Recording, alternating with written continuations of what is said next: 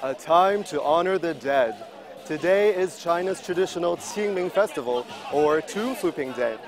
And what better place to celebrate this festival than here in the lofty hills of Xiandu, where thousands have gathered to commemorate the Yellow Emperor. But just exactly who is the Yellow Emperor, and why was this site selected as the site for his commemoration? Let's go find out.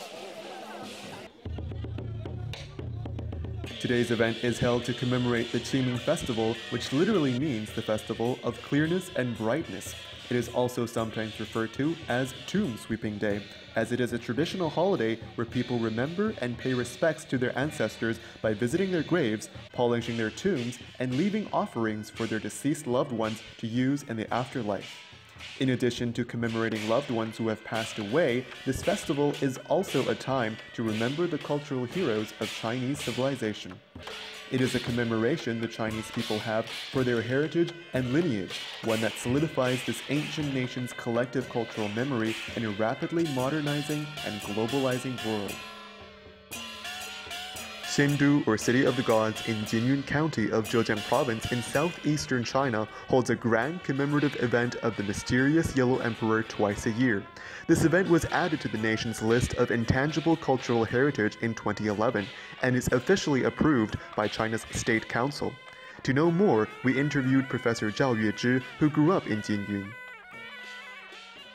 Professor, can you tell us a little bit more about the festival, the origins of the Yellow Emperor, and why was this beautiful site selected to be the Yellow Emperor's commemoration site? I see, a lot of questions. Qingming means clear and bright.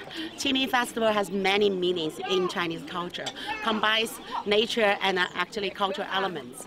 Uh, the most important aspect of nature is that Qingming is one of the 24 uh, solaces. It's the season that for, in terms of agriculture, for planting things. Uh, culturally, the most significant part of Qingming is this is the festival for people to commemorate the dead. Uh, what's significant for me in terms of Chinese culture is this Taoist element. That is, it, you celebrate uh, spring, uh, revival of everything, but at the same time, you commemorate the, the dead. So there is a, a sense of the cycle of life. And uh, as for uh, who is the Yellow Emperor? Yellow Emperor is one of the prehistorical legendary ancestors. He was credited with many humanistic achievements, also credited with uh, unifying uh, a large part of the land. And the legend had it that uh, once he conquered the land uh, from the north, coming to the source, south, he was on his way back to the north. And because this site is so beautiful, he decided to stop here to to uh, seek uh, immortality and uh, through, you know, some Taoist practice. And it was one day when this practice was successful, a dragon came from the sky and he rode on the dragon, ascended to the sky. And this this rock is on this rock top that he was practicing his Taoist ritual, and it's from this rock that he rode the dragon to the sky. So that's why this is the place where people commemorate uh, the Yellow Emperor.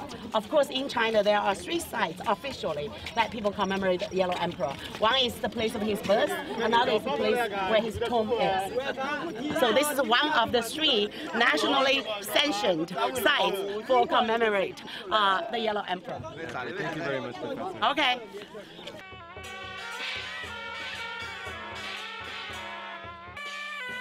We left the ceremony feeling overwhelmed not only by the deep respect people had for their ancestors and civilization, but also bewildered by the beautiful environment surrounding the memorial hall, full of lofty mountains and breathtaking forests. The region is a successful example of China's development efforts in the countryside, balancing economic and cultural growth with environmental conservation. Hi, I'm Gopa from Bangladesh. I have come here to see my professor as well as the Qingming Festival. I've never seen something so colorful and it's amazing. I don't know much about the religious significance, but it is great being here. It's an honor to be here. Thank you, China.